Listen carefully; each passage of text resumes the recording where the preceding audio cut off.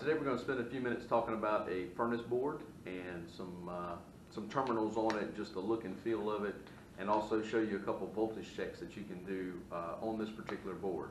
Uh, the unit that we're getting this off of is a Goodman 80% furnace, and uh, as you look at the board, uh, it looks a little different than the standard or some of the older uh, standard 80% furnaces, and that's because this one has an X13 motor inside the furnace. It's not a PSC motor. So the part number on this one is going to be a, uh, a PCB BF145. Um, that's Goodman's part number, but uh, basically it's going to be a White-Rodgers 50X57. And there's, of course, uh, some superseded uh, part numbers out there and such. But uh, what we're going to do with this one, there's a couple terminals that are a little bit different. Uh, this board has dip switches on it and some things that, uh, as I said before, are not your typical uh, furnace board, but we always think about the old PSC motors, okay? So uh, we'll spend a few minutes doing this. I'll probably just show a picture and highlight some areas and kind of voice over a little bit. But uh, don't worry, if you don't want to watch that, I'll put a little chapter in there, a little bookmark, and you can skip to the voltage checks at the end. So uh, hang tight, we'll look at this board, try to lay it out so it's, it's pretty easy to understand and then we'll uh, jump in the shop. All right, here we go. So we're going to try to walk through this board real quick. And uh, the easiest thing to start with is the one and only serviceable part on this control board. And that is the 3 amp fuse that you see here. So that's pretty standard, self-explanatory, nothing really big. It protects the transformer just like uh, pretty much every other circuit board that you'll see that has a fuse on it. So, so now that the fuse is out the way, we'll talk about the other obvious one that's pretty standard on the circuit boards, and that's going to be the terminal block. And you'll see here they didn't solder every uh, connection point on. They just did the main five, your R and C. That's going to be your power connections for 24 volts. We've got a G, a W, and then a Y, Y2 screw. So uh, for me, R is pretty pretty easy. I know that that's power that's going to come out of the circuit board and it's going to go into the thermostat. And the G, that's going to be a signal, you know, of course, for your uh, fan coming from the thermostat. Common is going to be uh, supplied for the thermostat and the contactor. W is another input. And Y is the big one that uh, I think throw a lot of young guys off. Why do I have a Y connection here if I'm not using a contactor on the inside furnace. Well, that Y, uh, especially in the case of this board here with the X13 motor, we use that screw. Uh, there's nothing nothing that says you can't put uh, the two yellow wires in a wire nut and just have the thermostat control the contactor directly. Uh, it's still going to do that, but you need to put the two yellow wires underneath that screw because what you're doing with that signal is you're letting the board know that you're in cool mode. And it, of course, can then adjust the CFM of the blower uh, on your X13 or your variable speed types. So if you see the Y connection there, it's the reason they put it there. Go ahead and use it. As we go around the board, you'll see uh, several small relays that are sticking on top of the board. But the next big thing, uh, don't overlook the 24 volt humidifier terminal. Uh, you can use that if you have a humidifier that you want to engage as you're running this furnace. But the big one is this 12 pin plug that's sitting here. This is going to be a variety of things. Uh, you have to look at your wiring diagram when you see one of these on here. But uh, this is usually the main plug, what they label as P1 on some brands and models. But this is going to be where your uh, your board is doing its diagnostic checks that that LED comes into play with. It's going to send power out to your rollouts and it expects to see that power come back in. It's going to send power out to your gas valve and, and different things. Uh, it's also going to probably, it's probably going to have the uh, flame sensor come back in here so you get that microamp signal so that it, it has verified that you do indeed have a flame there. So uh, uh 12 plug pin or 12 pin plug, I should say. Um, very common on these furnace boards, but it's there to uh, to have your ins and outs. And this is where we can do some voltage checks to verify that power was sent out and also comes back uh, through these safety switches and things. So as we move away from the plug and we get into our next uh, area, you'll see that this is a basically a six pin plug. Um, it's all in one row. It's not like the main plug that uh, had the 12 wires with three rows of four or four rows of three, whichever way you look at it. This is where your blower motor hooks up that X13 style motor. So the X13 style motor, you have high voltage on it all the time and it waits for a low voltage signal on one of five taps typically. So you'll see here we have a bunch of T numbers, T1, T2, T3, so on and so forth, and the last one is going to be common. So these are all 24 volt signals uh, or 24 volt pins. This is where, like I said, your motor hooks up and you can check voltage to ensure that the board is indeed sending out that low voltage signal to the module on that X13 motor. It looks like in our case here, we're only using four of the five, five taps and you'll see an X that uh, seems to indicate that we're not using tap five. So let the manufacturer decide what's being used. You just know how to check it. The next area is going to be basically a lot of your L1 connections. You'll see as, as we look at it from left to right, you have a line H. This is your L1 side of power, 120 volts coming in to the board itself. This is basically where everything starts. So it says line H, your line hot. Uh, the only thing that should be before this in the power is going to be your door switch more than likely. So, uh, but we have our connection to give our board power. That's the line H. We have a place that the transformer pulls that that L1 power, that 120 volts off. That's your transformer H. We have a circulator H. Remember that the circulator, the blower, needs 120 volts all the time. The X13 style always has power on it as far as high voltage is concerned.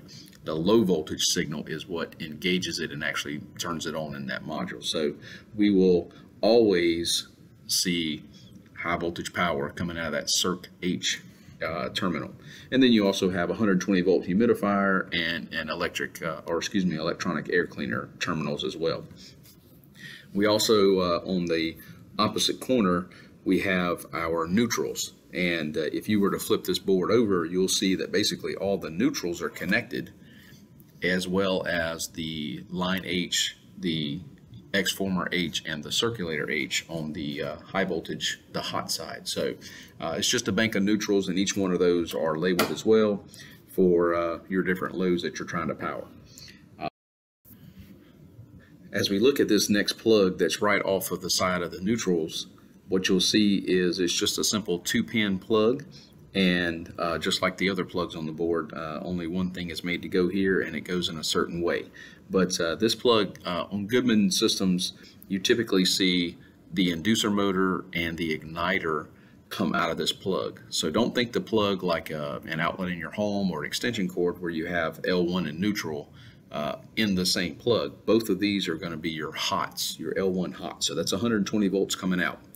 One is going to be for the inducer motor, one's going to be for the igniter. So if you're checking voltage coming out of the board here, be sure that you are aware that the igniter will only have voltage for a few seconds and the inducer uh, should have it longer uh, as long as you're doing a call for heat.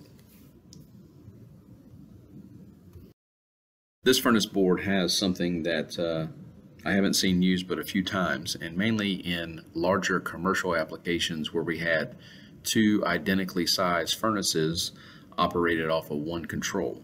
So it has a twin function and you can look in the manual for the twin function uh, but basically it's it's going to be uh, two of the same model uh, units uh, control boards everything but uh, the thermostat is going to operate on both at one time so the easiest way to think about it is staging if I had if I had a need for 100,000 BTUs of heat but I put in two 50,000 BTU furnaces, then I could turn you know one furnace on and get that 50,000 BTUs and then turn the other one on as a second stage to get the full capacity needed.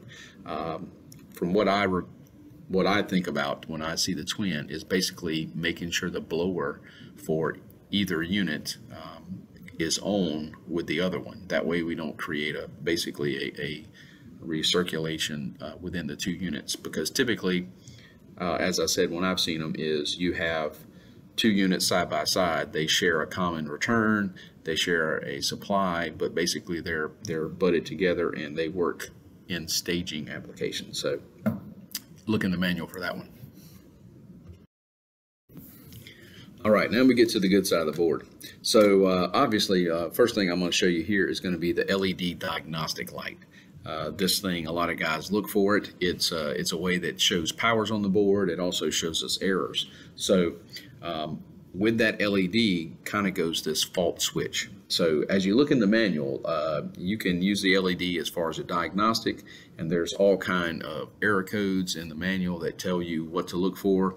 Um, you're looking for a certain amount of flashes. So one flash could be that it's a system lockout.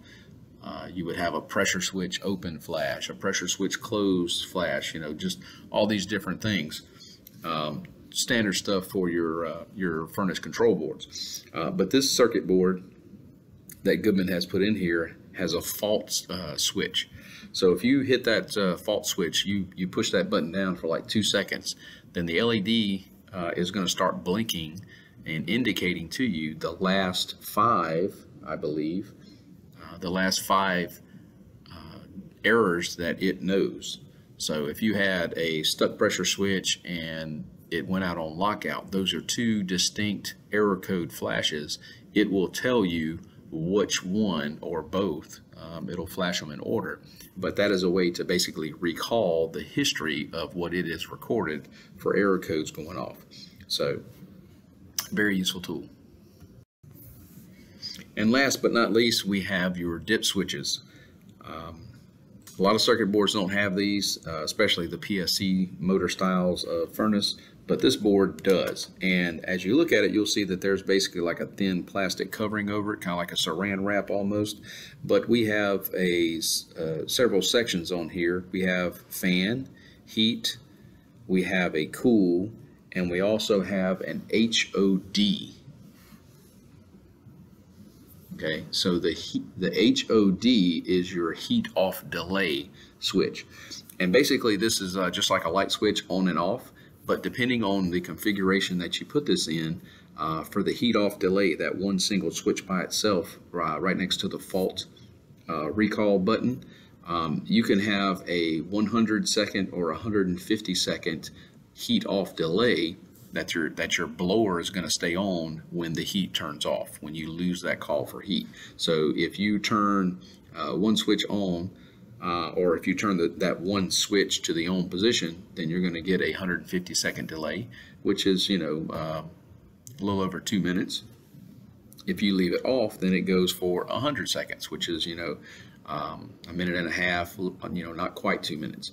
Um, your cool speed you can basically choose which tap that you are engaging uh, on that X13 motor when you select a configuration of these dip switches. So you have three switches there, one, two, three.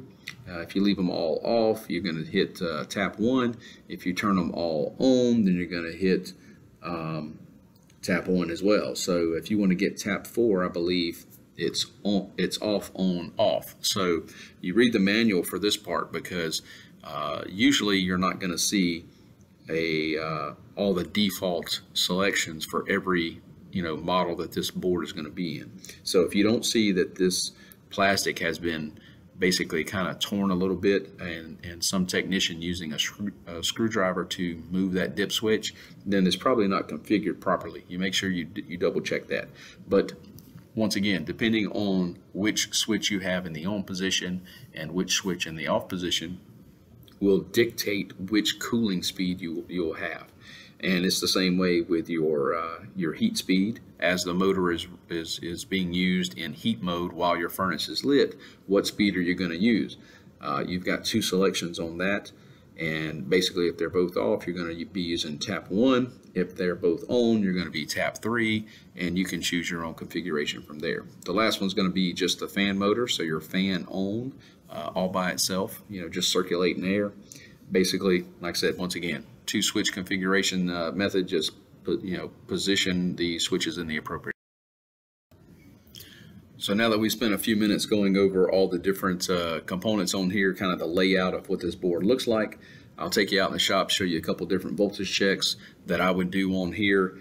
Uh, it's not going to be very in depth, but uh, this is just a kind of brush over or a, a run through of this board just to give you an idea of what it is. So uh, voltage checks are coming. Stay tuned. All right, so here we go. We're gonna do some checks on this Goodman unit. There we go. Got my knee pad down. Um, what I'm gonna do is, uh, first things first, when you take the covers off, this door switch is gonna open. All right, I'm not one of those guys that condones jumping out safeties or taping over door switches. So what I made myself, and this stays with me, I've only got one, and that way when it's missing, I know that, that I've left it somewhere. Um, but uh, I have to put it back, okay? What I've done here is I cut a small jumper wire, which got two male connections on it. And instead of taping over, uh, you can see some remnants of some tape where somebody has taped this door switch before myself. Um, what I do is I pull the wires off the door switch when I am troubleshooting a furnace. Um, they're usually insulated female terminals, so I pull them off. I don't want the, of course I'm gonna have the door off, so I don't wanna um, cut the furnace off while I'm working, but I will use a temporary jumper, that way I can turn the power on and check everything. So I will take that and put it back in my tool bag when I get done with the furnace, all right? So uh, we're gonna do about a half a dozen checks, maybe a couple more, maybe eight, but uh, we're gonna look at how I would check some of the things on a board, just so uh, some of the young- younger guys may get this in their head um, and understand what they're looking for.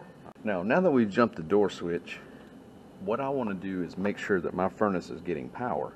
So over here in this corner, as we went over uh, with the board removed from the system, uh, over here in this corner is your main power connections. You've got your line power here, your hot, and you've got your neutral up top. So if the lighting's terrible, I apologize. What I'm going to do to make sure that this board gets power, because this is power for everything, I'm going to remove the black hot wire, the L1, okay? If I can get, uh, there we go. I'm going to pull those two out. And this is my L1 and my neutral, my line H and my line N. And what I'll do is I will remove them from the board. Now everything's going to shut off on the board, but I'm, I have to know that I'm getting power all the way through these two lines, one way or the other. So, and then I'll reapply power. It's going to go through the door switch, and you can see here I've got 120 volts. Or maybe you can see it. I've got 120.4 volts on here. So when I disconnect, or, or when I reapply, I should say, when I reapply this power, I'm now going to give that to the board. And it's going to do all its different functions, you know, power the blower motor, power the inducer motor, the igniter, uh, everything. All right. So when you're looking for power going in, you may have to pull the leads off of the board. When I'm looking for power coming out, well, I'm still going to pull the leads off the board, but we, we look at it a little different, okay? So if I'm going to check for that 120 volts going into my transformer, I'm once again going to pull the wires off, all right? That one's on there. I'll need a pair of pliers to, uh, to safely get it off. There we go. Don't want to pull the wires out of the terminal. We just want to pull the terminal, okay? Um, so if I'm looking for power going to my primary side of my transformer, I'll remove the wires, but we're not going to check the wires because, I mean, you've unplugged it, so there ain't, there's no way power can get to it. What we have to do is we have to check the terminals themselves, okay? So I'm going to check this transformer neutral and this transformer hot, and I've got 120.4. Now the voltage may go down as we actually turn things on and run, but when you're looking for power coming out of the board to a load, you still have to pull the wires off, but you have to check the board, not the wires, all right? So we have it, and we can make power, high voltage, low voltage, whatever. I'm going to reattach these. Mm. There we go. And we'll get on with the power checks. Now, since I'm here, if I'm worried about the primary side of this winding, I can go ahead and ohm out that particular load, and I've got uh, 18 ohms, which tells me that it's not an open lead, uh, it's not an open uh, winding, so I will go ahead and reattach these wires back to the board. So the third check I'm going to do, uh, I mean, it's kind of obvious though. Here's my 24 volts coming from the transformer. All we have to do here is check at the transformer. All right. And I've got uh, 27.63.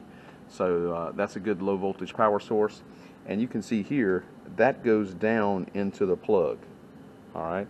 Now, sometimes if you unplug the main plug, uh, because there's so so many wires and they're all in one bunch, you may have to. Just because I have power on one end does not mean it went through the other way. So what I've done here is I've taken some two-wire thermostat wire, and what I will do is if I'm looking for a low voltage load, I will take those two wires here and they're stripped back fairly wide. Instead of jamming my leads in there, I will take this two wire and insert it in there all right well enough that it's going to make you know contact and then now I am removed out here I can check my I can check my low voltage out here away from all those plugs and I've got my 27 volts so I know that power is going into the board from my transformer if it's going into the board, all right, remember the fuse on there. Now my main power supply for that 24 volts is at the transformer. So I'm going to leave, and this goes into the hopscotch method. If I, if I know that I've got 24 volts going in there, I'm going to leave one lead on common at the transformer, and then I'm going to check power going into the fuse. That's what those little uh, silver looking tabs to the left and the right of the number are. So to the left and the right of this 3 amp fuse, that number 3, I've got an, expo uh, an exposed piece to get a voltage reading on. So I got 27 volts going in and 27 volts coming out. So that fuse is good. But if it wasn't, then it, it would be an open circuit. And what you'll see is uh, this LED light, as soon as I pulled that fuse out, which simulates a bad one, uh, it's going to start blinking a certain error code and this one is uh, 8 to 10 times, I, I, can't remember, we could sit here and count it, but uh, it's going to start blinking that diagnostic LED. Now once you find out in the field what caused that fuse to blow, and you repair that and put in a new fuse, then of course that code's going to go away, the board is sending power out and back and, and seeing it come back in, so it's going to know that the fuse is good now, alright? But between the outlet of that fuse and this R terminal, okay, we uh, we have a circuit through that board. So leaving my lead on common, I could check all the way to that R. Now this R is power leaving the board. All right. So now that you know we've simulated that bad fuse and repair, replace the fuse. Uh, if that circuit is complete, then I'll get 24 volts on R all the way through. All right. And uh, now, of course, you know, you could do your R and C checks here, and you've basically got, you know, a an extension of your power supply down here. So I could I could use this common for all my low voltage checks from here on out. Okay, so we'll run through just a couple, and I'll show you uh, like the the rollout switches and how I would troubleshoot them, and and also the blower. Now on this main plug, we have 12 different wires. All right we've got red, orange, red. Okay, now I'll try to pop up a wiring diagram and show you just in case you haven't seen this before. But basically, um, one of these corners is terminal 1 and usually there's an identifying mark there's a square corner instead of the other three being round or they'll put a mark uh, in some cases they'll tell you which is first in this one I have this raised uh, little corner right here that's not on any of the other four or excuse me that's only on one of the four corners. So that identifies this wire as the first wire in the plug. All right, Goodman does pretty good about identifying this. So this is one, but now which way do I go? Do I count across the bottom or do I count up? So the next one is orange or yellow. And looking at the diagram, you'll see that it, that wire one is red and the second one is orange. So we're counting up this plug instead of across the bottom. All right, so one, two, three, and which makes sense that this yellow wire is going to be the fourth. All right, and I say that because on this particular setup, the um, the rollout switch has is power leaving on terminal five. So I'm going to find that fifth plug or fifth wire in the plug, and that's going to be a purple. All right, so I'm going to insert part of my little my little uh, two wire thermostat uh, checker here. I'm going to insert it in, and it comes back on number 11. All right. So what I'll do is I'll put the other lead on number 11. All right. Now, here's the bad thing. Don't think that these two wires are hot in common. They're both hot. So I'm going to have to leave one of these leads on common, but I have in my hand power, right? Um, I have my two connections, so I can see power go out on one, on ter uh, terminal 5, and if, and if the rollouts are good, I can see it come back on terminal 11, which is a little loose in there. All right? There we go. So both of these connections, when you're coming in these plugs looking for your rollout switches, understand that they're probably both going to be a 24 hot. And what you'll need to do is use the common. And many leads have an alligator clip you can attach. You can attach that straight to your common here. Or if you had enough room, you could leave it at your common on your transformer. Now one last thing we're going to look at is the blower. Here's my blower tap over here. All right, so we have tap one, tap two, three, you know, the whole nine but the last one is common. So what I can do here is put one of my little uh, two wire jumper in the common and if the board is telling me that it's energizing tap one then I can put the other one into the tap one spot and when that blower energizes I can check for 24 volts here and I can move that wire down tap 2, tap 3, tap 4 and I can find out exactly which tap is being energized these leads here are not for amperage. They're not for amperage. You would actually need to go up here and find the neutral for your blower and that would be the one you would check amperage on. All right, so I'll show you that real quick and then we'll wrap it up.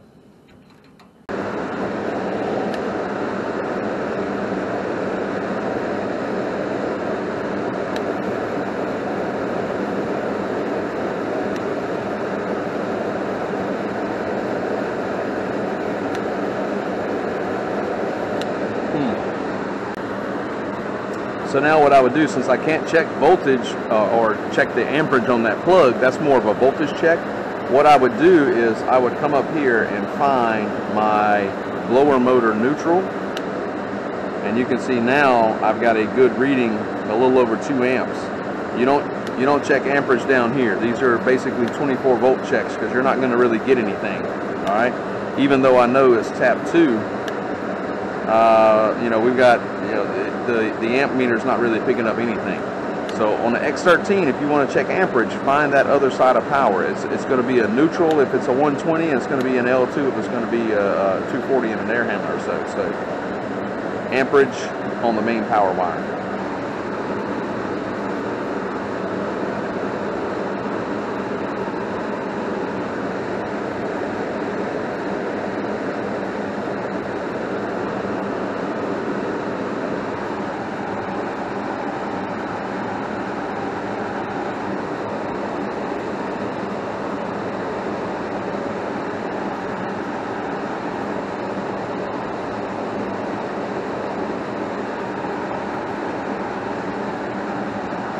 Little noisy.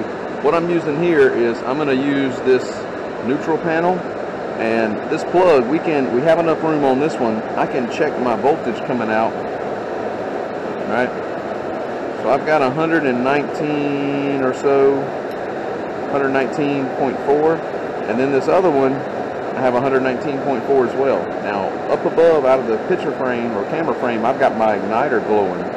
And I hope that you can see that I'm on the left side of this plug. I know it's the igniter. And as soon as that igniter's done, see there, it just dropped out. Once the igniter's done, then this circuit board is going to open that particular switch and stop powering uh, that part of the plug. Okay. The other side is the inducer motor, so it's going to run and it should have 120 volts all the time. All right. So with that particular plug, you do have room to kind of get in there uh, I wouldn't suggest using the two wire little jumper uh, on any high voltage because it's high voltage, all right? But um, the checks are very simple.